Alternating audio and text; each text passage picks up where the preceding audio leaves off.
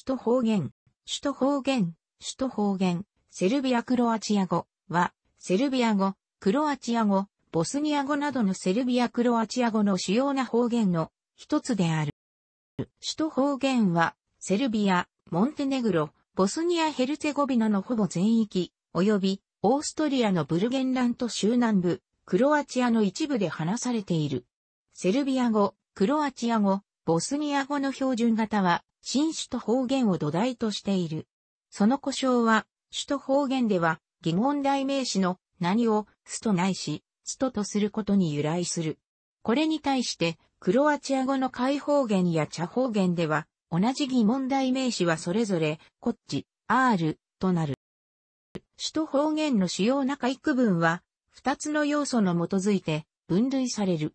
一つには、古首都方言と新首都方言に分ける区分であり、もう一つには、スラブ祖語のヤトの変化による。スラブ祖語におけるヤトが E となるものをエ方言、EJ となるものをイエ方言、I となるものをイ方言と呼ぶ。一般的に現代の方言区分では、首都方言は7つの開方言に分類される。この他にさらに1つないし2つの開方言があるとする意見もある。原始首都方言は12世紀に現れた。その後2世紀の間に首都方言は2つの地域に分かれる。西部の方言はボスニア・ヘルツェゴビナの大部分、及びクロアチアのスラボニア地方に見られ、他方で東部の方言はボスニア・ヘルツェゴビナの東端、及びセルビアとモンテネグロの大部分を含む。西部首都方言はさらに3つに分かれ、東部首都方言は2つに分かれる。歴史的な文献調査より、古首都方言は15世紀中頃に確立されたことが知られている。この時代でも、古首都方言は、境界スラブ語と様々な面で混合していた。クロアチア及びボスニア・ヘルツェゴビナの多くの部分では、茶方言との混合もあった。首都方言は、古首都方言と新首都方言に分けられる。トルラク方言は最も古い方言は、ブルガリアとの国境に近いティモクからプリズレンにかけて広がる。言語学者の間で、この方言が首都方言の会に属するのかについては合意が得られていい。トルラク方言の形態論的な特徴は一般的な首都方言とは大きく異なり、むしろ首都方言と東南スラブ語、ブルガリア語、マケドニア語などとの中間的な特徴を持つ繊維方言の特徴をしている。この地方の方言は、オスマン帝国がこの地方を14世紀に征服したことにより、首都方言の主流から分断されたものと考えられる。ティモクイコールプリズレン方言は、バルカン言語連合の特徴を持つようになる。核変化は消滅したも、同然となり、不定詞は DA 公文の接続法に融合し、漢詞は語尾変化へと移行した。方言のアクセントは強弱アクセントとなり、強アクセントは、どの音節にもつきうる。古い繁忙音はあらゆるところで失われた。音節子音の L は保存されており、VLK イコール標準では、ビク、いくらかの方言では、と、と、D の区別をせず、それぞれ後部詞形音である後者に融合した。この方言に属するいくらかの開方言では、語末の L は残されている、ドーセル、ゼノルなど、CF 開方言、ブルガリア語が、その他ではこの語末の L は音節、やに置き換わっている。これらの方言の話者は、メトヒア地方のプリズレン、ジラン、グニラネ、シュテルプツァ、シュトルプツェや、セルビア南部のブヤノバツ、ブラニエ、レスコバツ、ニシュ、アレクシナツ、トップリツァ渓谷の一部プロクプリエ、セルビア東部のピロト、スブルリグ、ソコバニャ、ボリエバツ、クニャジェバツから、コソボイコールレセバ方言が主流となるザイエチャルあたりまで広がっている。スラボニア方言は諸活語、あるいはコシチャ方言とも呼ばれ、スラボニア地方の一部、クロアチア及びボイボリナのバチュカ、バラニャ、3M、北部、ボスニアなどに住む諸活人によって話されている。スラボニア方言は、異方言とエ方言を混交した発音である。異方言は、ポサビナ、バラニャ、バチュカ、及びスラボニア方言の開方言の飛び地であるデルベンタで優勢であり、エ方言は、ポドラビナ地方で優勢である。エ方言が優勢な地域の中に、異方言の飛び地があったり、その逆のパターンも多く見られる。同様に、エ方言イコール異方言根校とエ方言イコールエ、方言根校が飛び地上に入り混じるパターンもある。ハンガリーの複数の村では、スラブ祖語の宿がそのまま保存されている。局地的な変種は、新種と方言の影響の重要度に応じて数多く存在する。ポサビナ地方の二つの村、シチェ、シス及びマギチャマレ、マジェカマレでは、動詞、ノーゼル等で古い L が残されており、現代の標準的なノシオとは異なる。ポドラビナ地方の複数の村では CR に代わって R が用いられており、例えば CRN ではなく RN となる。こうした特徴は、海方言では一般的であるが、首都方言では極めて珍しい。東部ボスニア方言は、シチャイエ方言とも呼ばれ、ほとんどの地域でイエ方言の発音がなされる。この地域に住むボシュニャク人、ボスニアムスリム人、セルビア人、クロアチア人の多くはこの方言を話し、ボスニア・ヘルツェゴビナの大都市、サラエボやトゥズラ、ゼニツァなどで話されている。一般的な家方言の特徴に加えて、鉄車に、やまぐらい、では、絵方言イコール絵方言根校で手じていた。ジャプチェやヤブラニツァでは、家方言イコール異方言根校ジェテジテタが見られる。この地方の中央地域の海方言では、古語の L やより一般的な U、ビク、ストップに代わって二重母音、ウオ、ベック、スタップがいくらかの単語において見られる。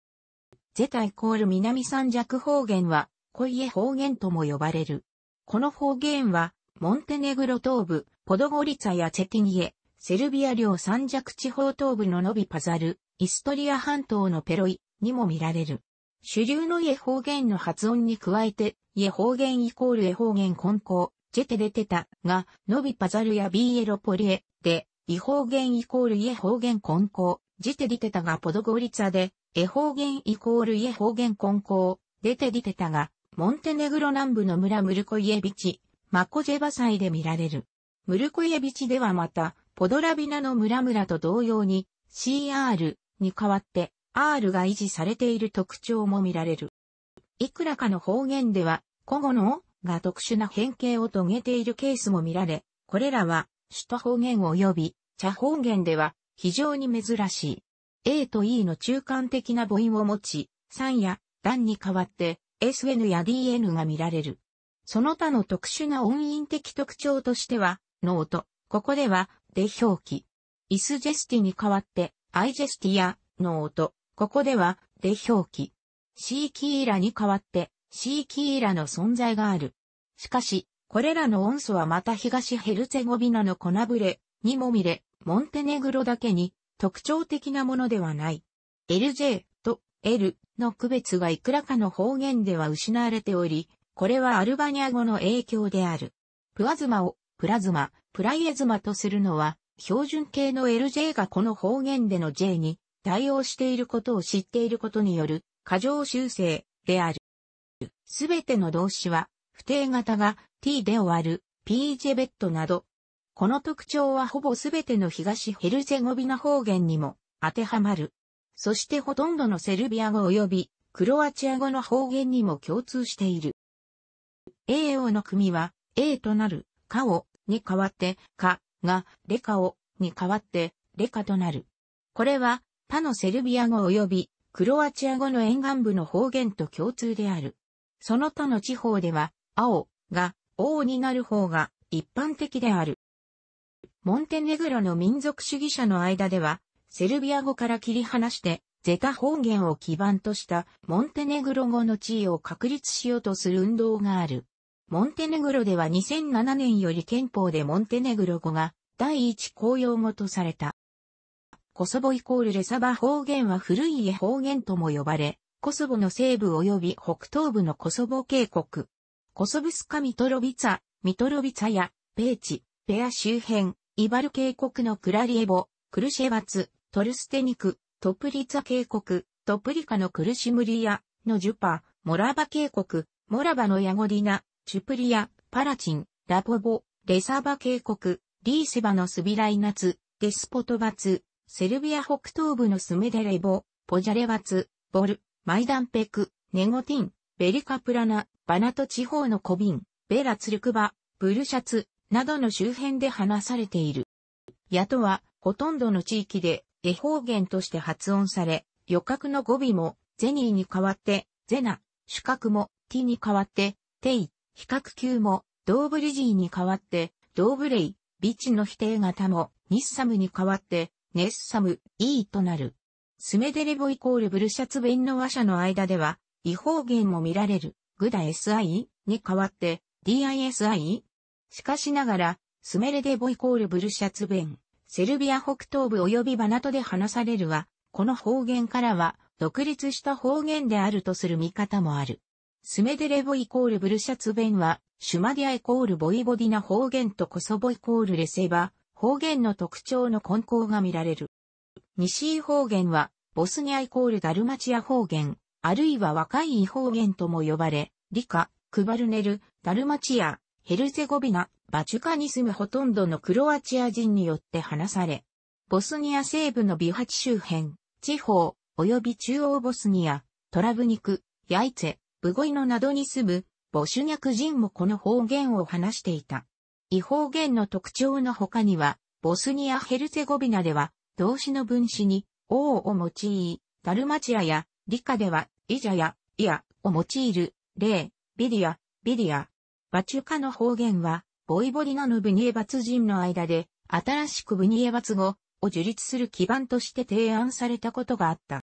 シュマディアイコールボイボディナ方言は、若い絵方言とも呼ばれ、セルビアの北部から西部にかけてのシュマディア地方のクラグイエバツやバリエボ、そしてマチュバ、マクバではシャバツやボガティチ、周辺のみに限り、ロズニツァやポドリニエを除いて話され、またベオグラードからクロアチア東部のブコバル周辺まで話されている。その主流は、絵方言である。形態論的には、元来廃方言であった。ボイボディナのいくらかの地域では、失われた古い形態が残っている。多くのボイボディナの方言や、一部のシュマディアの方言は、開いた、いいや、王がある。しかしながら、セルビア西部や、ベオグラード及び、バチュカ南西部、ボル、チャボーカ、パンチェボ、ババニシュテベワナストの古い方言と関連のある方言では、より標準に近いものが多い。この方言は、セルビア語の絵方言による標準形の基盤となっている。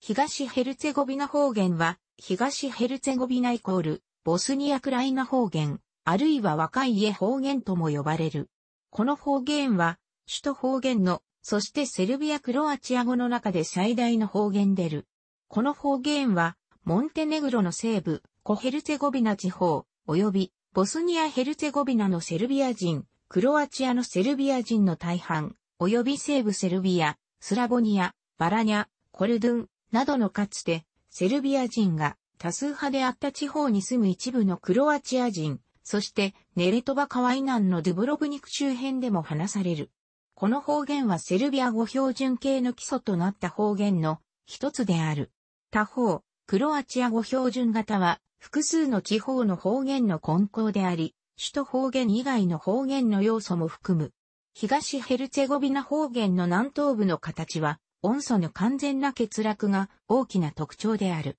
この音素は完全に抜け落ちるか、場合によって音素や音素に置き換わっている。この方言が話される袋地であるジュンベラクやドゥブロブニク周辺では一部に特殊な特徴を持っており、茶方言や西方言の影響が見られる。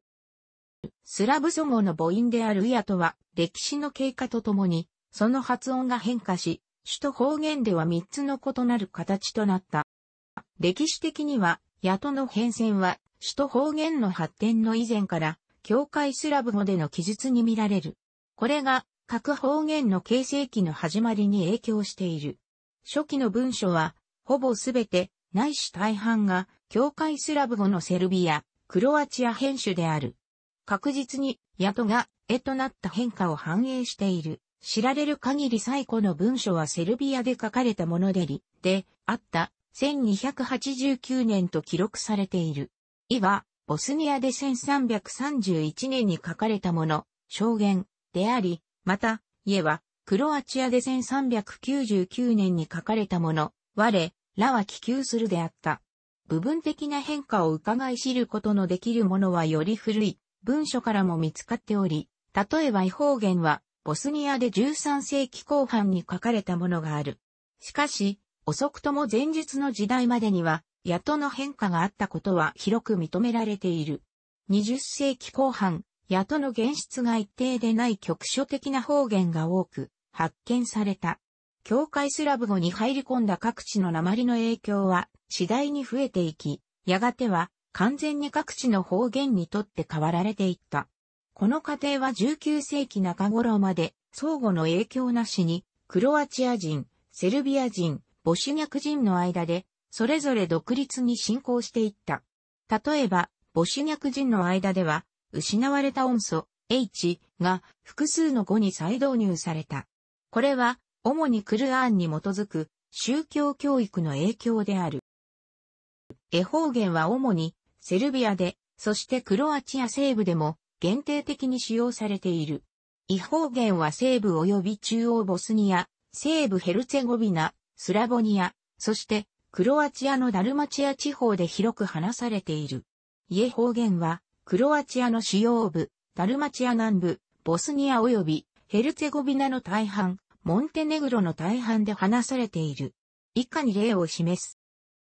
長い EJ は多くの家方言の話者の間で二重母音的である。ゼタ方言や多くの東ヘルツェゴビナ方言では EJ は二つの音節となっている。セルビアの音声学者は EJ を独立した音素とはみなしていない。この際はクロアチアの国歌、私たちの美しい故国とモンテネグロの国歌、5月の夜明けの一番の歌詞に顕著に見ることできる。それぞれ、前者では、ライジア・パスカル N.A., ザ・ドゥーモ・バイノー、後者では、オジェ・スビチュ、トラ・マイスカゾロと歌われている。19世紀前半において、初期のスラブ学の提唱者たちは、南スラブ諸方ことについて考察し、各方言の話者の民族性との関連に関する複雑な論争に発展していった。これは、歴史的な視点からは、これらの奇怪な議論は、むしろ政治的、民族主義的な立場に基づいたものであり、それぞれが自身のイデオロギーを同期としていたと見られている。この論争で活躍したのは、チェコ人の言語学者、ヨゼフ・ドブルフスキー、スロバキア人のパベル・シャファーリク、スロベニア人のイエルネー・コピタル、及びフランツ・ミクシッチ、セルビア人のブック・カラジッチ、クロアチア人のボゴスラブ・シュレク、バトロスラブ・ヤギッチ、などであった。基本的には、言語学的には、誰がクロアチア人、スロベニア人、あるいはセルビア人なのかという定義について、それぞれ自民族の領域や影響範囲を大きくすることを目的に議論は繰り返された。ロマンス主義や民族勃興の中から生まれたこれらの複雑回帰な議論は結局これらの民族の位置づけを定義することのみに止まった。これは主に首都方言の解放言区分はそれぞれ民族をまたいで広がり、民族ごとに分離することができなかったことによる。他の方言と同様に、首都方言も多民族的な方言であった。しかしながら、これらの首都方言の解放言話者たちは、民族性の確立と固定化の過程を経て、首都方言のうちいくつかの有力な方言の話者へと変わっていった。メディアによる言語標準化の運動は19世紀に起こり、多くの話者たちに影響を与えた。以下の分布の記述に関しては、前述のことに注意されたい。フルシュト方言は、現代の民族境界線に対して、次の位置づけにある。一般に、新首都方言は、現在の民族境界線に対して、次の位置づけにある。初期首都方言、あるいは首都方言へと変容した境界スラブ語は、クリン大公の直居などの公的な書類にも見られる。この直居は、ボスニアとドゥブロブニクの交易に関する取り決めであり、1189年のものである。また、グルシコビッチ、グラスコビッチとミハイロビッチ、ミハニビッチの未完原稿、1150年などの南ボスニアやヘルツェゴビナの宗教的な文書にも見られる。専門家の意見は二つに分かれており、これらの文書、特にクリン大公の直居について、現在にも見られる、首都方言の局所方言とみなしうるか否か、統一した見解は得られていない。主に、教会スラブ語の影響を受けた、首都方言は、オスマン帝国以前の時代のボスニアやザフムリエ、セルビア、ゼタ公国、南ダルマチア特に、ドゥブロブニクなどで、多くの法的、商業的文書に使われている。最初の広範な首都方言の文書は、バチカンクロアチア語祈祷書であり、1400年より10年、ないし20年ほど前に、ドゥブロブニクにて書かれたものでる。その後2世紀にわたって、首都方言の文章は主に、ドゥブロブニクや、その他のドゥブロブニクの影響下にあった、アドリア海沿岸地域や島嶼部、並びに、ボスニアで書かれていた。ボスニア語、クロアチア語、セルビア語の標準型は、すべて新種と方言を基盤にしている。しかしながら、これらの標準型は、セルビア人、クロアチア人、ボシュニャク人の相互のサイトは関係がなく、新種と方言のいくらかの特徴、例えば、リクレンションはそのまま維持されたものの、別の特徴は取り除かれたり、新たに付け加えられたりした。例えば、音素 H は、これらの標準型に再導入されたものである。クロアチア語は、首都方言の解放言による読み書きと文学の長い伝統を持っている。ほぼ4世紀半にわたって、首都方言はクロアチア語標準形の基盤として優位な立場に立ち続けていた。その他の時代では、茶方言や解方言、茶方言と解方言、首都方言の根高言語をクロアチア語の標準に押す動きがあったものの、この試みは成功しなかった。この試みの失敗は、主に歴史的、政治的な理由によると思われる。